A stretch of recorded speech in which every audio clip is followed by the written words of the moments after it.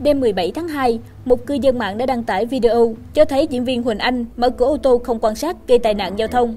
Đáng chú ý, người này còn chia sẻ cả câu chuyện dài và tin nhắn chứng minh việc nam diễn viên lương lẹo không chịu bồi thường thỏa đáng cho nạn nhân như đã hứa. Cụ thể, đêm mùng 4 Tết, hai người chở nhau đi xe máy trên đường thì bị xe của Huỳnh Anh bất ngờ mở cửa gây tai nạn. Vụ việc khiến chiếc xe máy và cửa ô tô đều hư hỏng, người ngồi sau xe máy gãy răng. Khi công an đến làm việc, Huỳnh Anh đề nghị hòa giải và đền bù thiệt hại cho chiếc xe bị hỏng cũng như người bị nạn.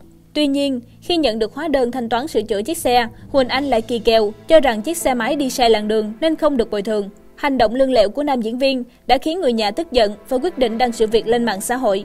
Từ clip được chia sẻ, có thể thấy xe của Huỳnh Anh mở cửa nhưng không hề xi nhanh là nguyên nhân gây tai nạn. Bên cạnh đó, người điều khiển xe máy cũng không hề đi sai làn đường như lời nam diễn viên nói để thoái hóa trách nhiệm.